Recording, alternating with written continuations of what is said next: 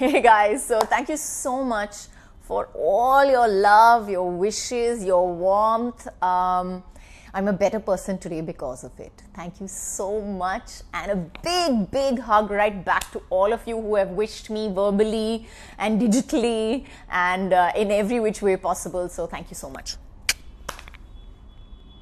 On Saturday and the 18th day of our lockdown. And hello, everybody. Hello, hello, hello. Hi.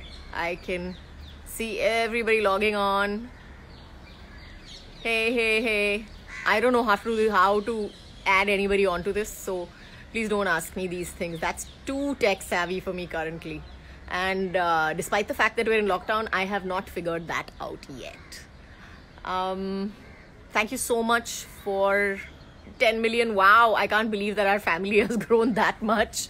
From connecting reconnecting. Okay hey so i can't believe that our family has grown that much from five years back. I remember coming onto Instagram exactly five years back, and uh, before we started shooting for Dilwale, actually, and it was so much fun once I got onto it. I didn't see the point to it till I got onto it, but I'm really enjoying myself, and I have been for so long. Hey everybody! Hello, hello, hello, hello. Hey, so I I, I really can't pronounce half these things. I'm sorry. I really can't pronounce all your names, guys. But thank you so much for being here. Thank you so much for all the loves, love that you have poured on me for all this time. And I am truly, truly grateful. Thank you. Thank you again. Uh, fortunately, I live in a bungalow.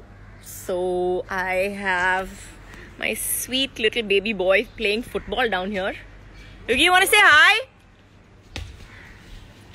I don't know how to switch this camera though. No.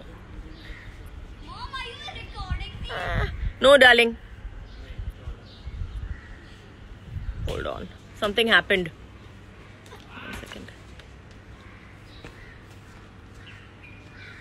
Something happened. Okay. Okay, and I'm back. okay, I had a little bit of a technical glitch over there, which was weird.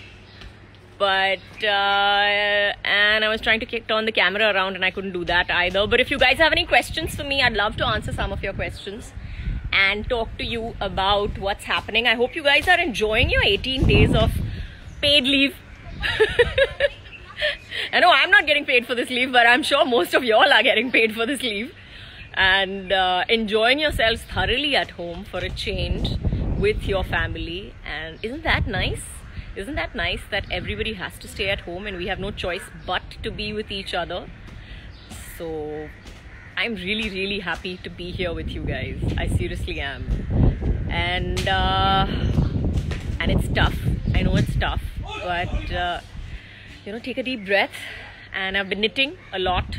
I've been uh, I made a dress for my daughter, if you please, and I made I'm knitting a little top for my baby.